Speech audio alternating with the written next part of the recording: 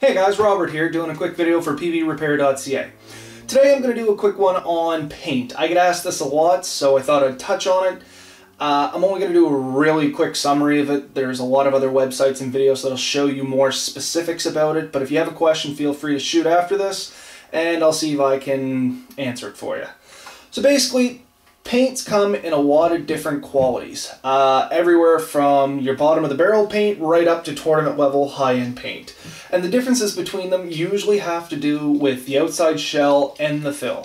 So with your cheaper paints, you're going to get a really hard shell that's going to tend to bounce on you when you're shooting other players. Not only that, it's going to have a tendency to sting as well when you hit the other players.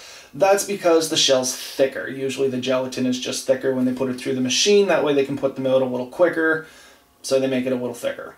Now the fill on it, on the other hand, is going to be runnier or thinner. It's easier to wipe off. Potentially it's loaded down with dyes, which means it could stain easier. It's just, you get what you pay for. The cheaper it is, the less time they try to put into it, the faster they try to put the paintballs out. Perfect example of bottom end paint, right here just orange paintball, uh, kind of egg shaped. The ridge where the two halves came together, very prominent, full of dimples, raw card shell. Typically, this is the kind of paint that you're going to get with a uh, blister pack gun if they come with the tubes. I see one on the market right now. It's kind of a pump style handgun, comes with five tubes of paint in it. This is basically what they're giving you. They're almost marbles, basically. I don't recommend them for playing against other people. They're fine for testing equipment and things like that. They still do their job. Uh, the other thing that I might note on them is they tend to have a little bigger bore size, so the, the paintball itself is actually bigger than uh, your higher end paint. Now, when you move up from the bottom end paint, such as this, you're going to get into mid-level paint, or uh, something around that level. And when I say mid-level, I, am crudely classifying these myself. Uh, most people that have played for any amount of time will kind of throw them in the same classes, but everybody has their personal preferences. So, I mean, I, I do recommend going out and making your own opinions on this as well. Now, moving on to mid-grade paint, you're going to get something along these lines. Uh, this is a, a multicolored shell, red and orange the colors really don't matter a whole lot on the shell nor the fill color.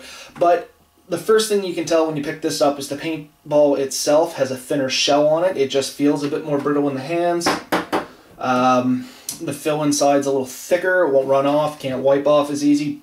Won't stain as easy. Uh, they're slightly more round, though still pretty oblobbed and stuff like that.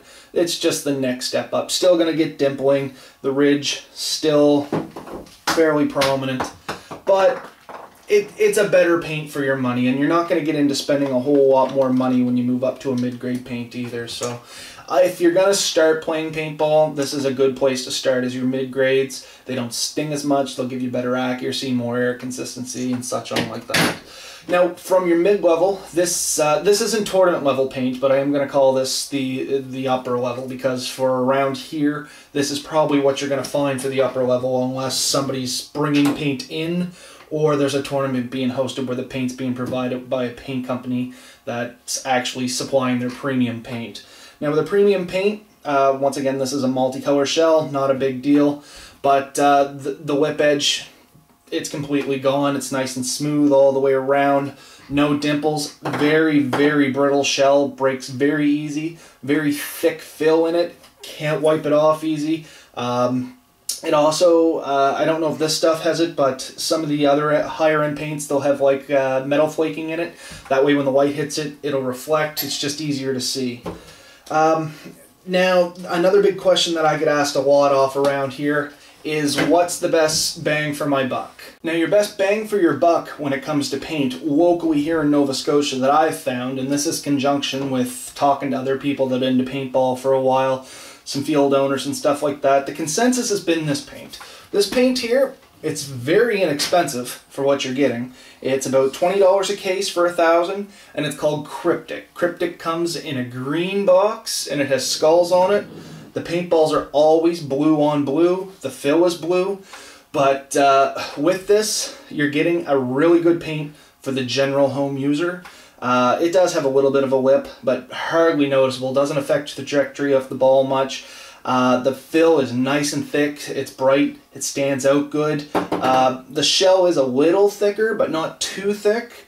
So it's not going to break easy as the as easy as the higher end paint, but it's definitely not going to have that really bad sting and bounce that the really low end paint would have. So if you're in Nova Scotia and maybe some of the other provinces, I'm not 100% sure, but I know here in Nova Scotia, Cryptic, great way to go, especially if you're just getting into paintball. Uh, you just want a nice, inexpensive paint that you can pick up and play out in the backyard. Great paint right there. Um, the last thing I want to touch on before I finish this video off, because it has been mentioned to me a few times and people have asked questions, is this right here. It's not really a paint, but it's still a projectile from a paintball gun, and these are reballs.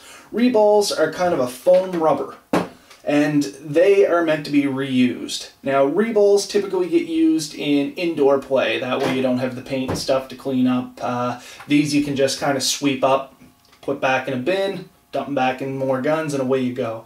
So these here are meant to be used for indoor play or testing guns. If you use them outside, you're going to shoot them, you're going to lose them. The big thing to know with these are if you are planning on using reballs indoors uh, at a field, make sure your gun is chronoed down. Most places won't let you shoot over 230 feet a second if you're using a reball just because they are foam rubber. When they hit you, they're going to sting.